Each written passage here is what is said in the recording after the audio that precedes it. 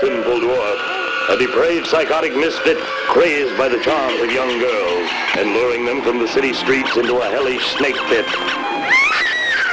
My son will show you the room. Oh, Peter, I don't want to stay here. What do you think of that blonde girl? The sinful dwarf, a tantalizing bride trapped in a web of terror. Last night I heard noises. Were you snoring? No.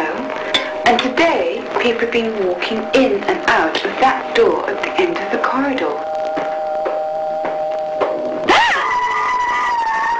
Have you seen my wife? She left. You wanted to see what was in here. Watch out for it. The sinful dwarf. Admission restricted.